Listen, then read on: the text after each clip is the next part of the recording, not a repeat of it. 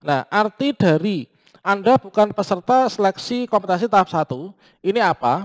Ini artinya, teman-teman, ini tidak berhak untuk ikut tes tahap 1.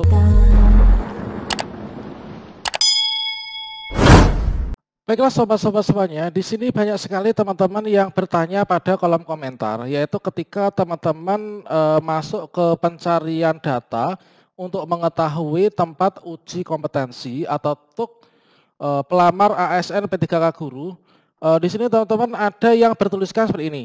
Anda bukan peserta seleksi kompetensi tahap 1.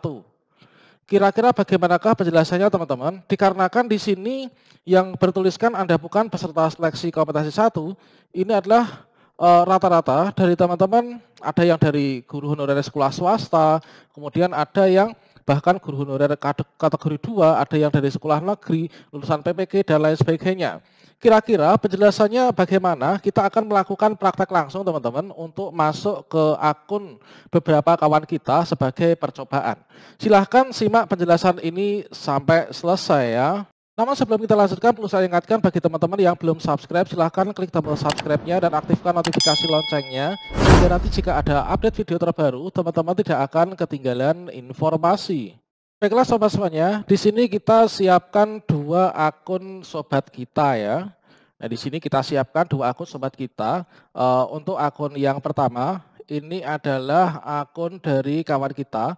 Kartu ujian dari teman kita yang mana ini adalah guru honorer di sekolah negeri teman-teman. Guru honorer di sekolah negeri yang mana mengunci formasi di sekolah induknya. Kemudian untuk yang kedua, di sini sudah kita siapkan yaitu e, kartu peserta ujian dari kawan kita yang mana beliau ini adalah guru honorer di sekolah swasta ya. Di sini kita bisa lihat bersama teman-teman perbedaannya. Kalau misalkan e, guru honorer di sekolah negeri dan mengunci formasi, di sini lokasi formasinya ini adalah e, eh, SD-nya sudah tertera.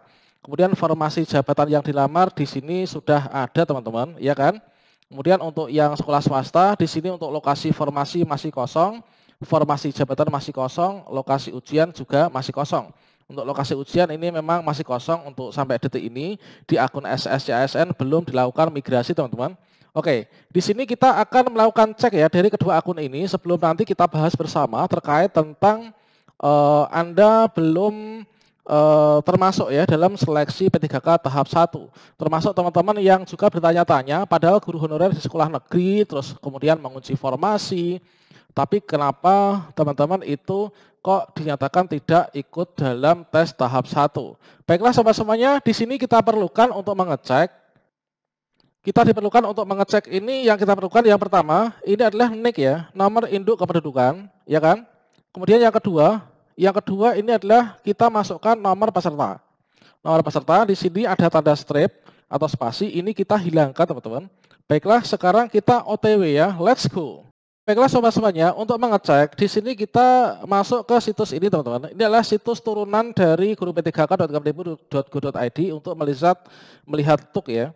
Nah ini kita masuk ke sini. Http titik dua garis miring dua satu satu delapan titik sembilan delapan titik satu enam enam eh, titik enam tujuh. Garis miring pelamar underscore p3k garis miring. Kemudian setelah itu kita enter. Nah maka kita akan masuk pada bagian ini teman-teman. Oke ini kita siapkan untuk yang pertama. Ini kita masukkan nick uh, untuk mengecek ya, masukkan nick dan nomor peserta dari teman kita yang uh, di guru honorer di sekolah negeri ya. Oke, di sini ini kita sudah masukkan. Sekarang kita masukkan nomor peserta. Nah, teman-teman di sini untuk nomor peserta, di sini spasi atau strip ini kita hilangkan. Nah, kita hilangkan. Kemudian setelah itu kita cari. Kita masukkan nick dan nomor peserta tanpa spasi dan juga tanpa apa itu? Uh, tanpa ini ya, tanpa strip. Ini nanti kita cari. Oh ya, perlu saya informasikan untuk yang di sini nanti isinya sama teman-teman dengan uh, menu baru pada guru P3K. Nah, di sini pada guru P3K nanti ini adalah hasilnya sama ya. Ketika teman-teman masuk di sini, karena sampai saat ini kayaknya belum bisa diakses teman-teman untuk ya di sini. Nah, ini belum bisa akses, ini kita bisa melihat di sini. Nah, di sini setelah kita masukkan NIK dan juga nomor peserta, ini adalah contoh dari teman kita yang guru honorer sekolah negeri. Maka kita klik cari, Lihat. Nah, di sini sudah muncul teman-teman. Uh, untuk NIK sekian, nomor peserta sekian, namanya ini, kemudian tanggal ujiannya ini tanggal 15 ya. Nah, ini tanggal 15. Kemudian provinsinya ini, kabupaten ini. Kemudian untuk lokasi di sini juga sudah ada. Untuk lokasi ujian ini ya, untuk tempat uji kompetensi ini adalah SMAN 1 Ngawi. Demikian. Nah ini teman-teman, ini contoh dari teman-teman guru honorer di sekolah negeri. Ini seperti ini seharusnya. Kalau misalkan nanti eh, teman-teman merasa di guru honorer sekolah negeri akan tetapi kok tidak apa itu ya, tidak tidak tidak muncul, tidak muncul, artinya teman-teman ini dinyatakan bukan peserta seleksi tahap 1, maka nanti kita akan berikan penjelasan e, berdasarkan pada ketentuan tes tahap 1 yang dirilis oleh Kemdikbudristek teman-teman. Oke, kita lanjutkan untuk yang kedua ya. Nah, di sini kita copy URL-nya saja. Nah, ini kita copy. Kemudian kita masuk tab baru.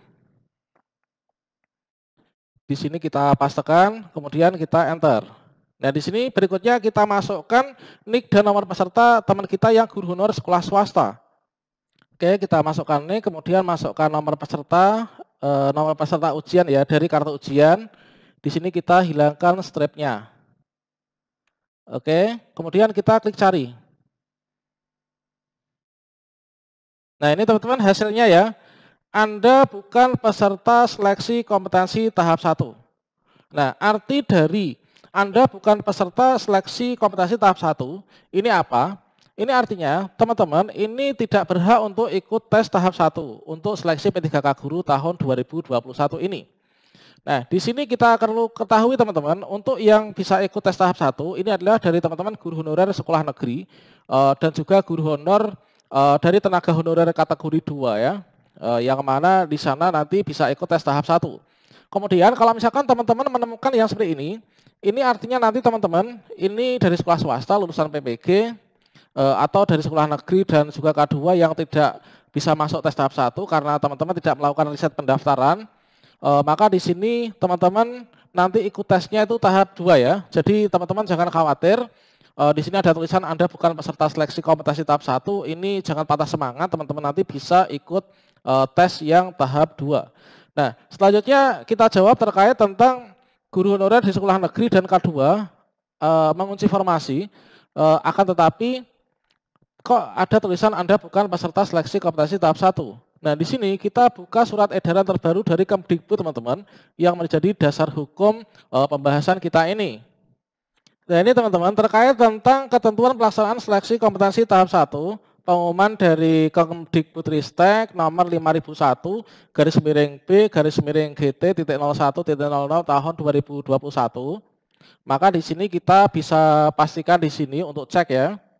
Nah ini Peserta dapat mengikuti seleksi kompetensi tahap 1 beserta lokasi dan waktu pelaksanaan diumumkan tanggal 9 September pada laman ini. Ini adalah tadi kita menggunakan URL turunannya. Kemudian dan dapat lihat di akun SSCSN. Namun ketika kita lihat di akun SSCSN ini belum termigrasi teman-teman. Ini masih menunggu proses. Dan yang kedua, peserta eh, ini teman-teman, peserta yang tidak terdapat keterangan lokasi dan waktu seleksi kompetensi tahap 1, ada tulisan Anda dinyatakan eh, belum peserta seleksi tahap 1.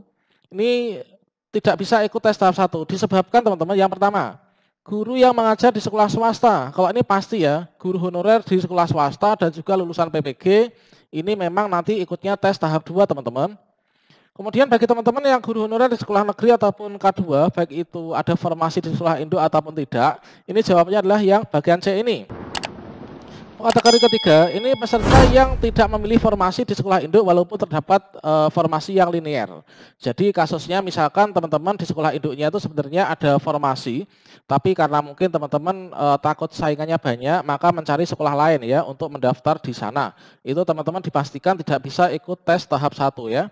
Kemudian yang D, peserta yang tidak terdapat formasi di sekolah induk dan tidak ada formasi kosong di sekolah lain, eh, ini juga eh, tidak bisa. Artinya, misalkan teman-teman mendaftar sekolah sendiri tidak ada, daftar sekolah lain awalnya kosong, tapi ternyata ada guru honorer yang daftarnya telat. Dan teman-teman tidak melakukan riset pendaftaran ya.